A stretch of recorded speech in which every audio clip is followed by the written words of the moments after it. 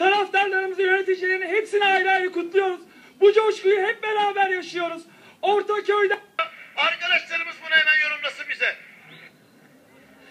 Ersin Kavaklı'dan, Danamandıra'dan, Gazitepe'den, Fatih Mahallesi'nden, her yerden, Ali Bey Mahallesi'nden, Cumhuriyet Mahallemizden, ortak paydamız Silivri Spor, Silivri'miz için sokaklara dökülüyoruz.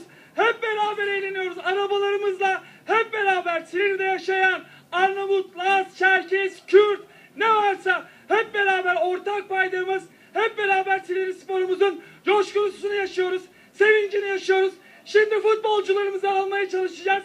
Canlı yayındayız sevgili seyirciler. Şampiyon Silivri Spor. Bunun hep beraber coşkusunu, sevincini yaşıyoruz. Evet, evet canlı yayındayız.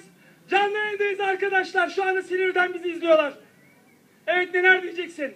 Vallahi biz ne diyeyim ben ya? Ben çok- Öncelikle sizi tebrik ediyorum. Şampiyon da bugün olmasaydınız Silivri'de gönüllerin şampiyonuydunuz. Tebrik ediyoruz. Neler söyleyeceksin? Üçüncü lig yolunda Silivri ya bütün Spor'a. arkadaşlarımı canı gönülden kutluyorum. Başkanımız zaten onun için hani Şenol Başkan efsane bir başkan ke- oldu. kelimeler onun için çok az yani. başkan. Ama bu taraftar bu camia bunu hak etti yani. Canlı yayında Silivri'duydunuz. Tebrik ediyoruz. Neler söyleyeceksin? Üçüncü lig yolunda Silivri Ya bütün Spor'a. arkadaşlarımı can- Silivri halkına neler söylemek istersin? Şu anda Silivri'nin dört bir yanında arabalar sokaklarda, çarşılar, meydanlar dop dolu. Silivri'nin yeri burası değil. Şu an bir başlangıçtır.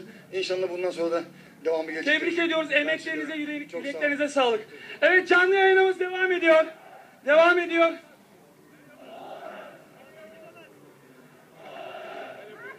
Evet şimdilik sözü merkez stüdyolarına bırakıyoruz.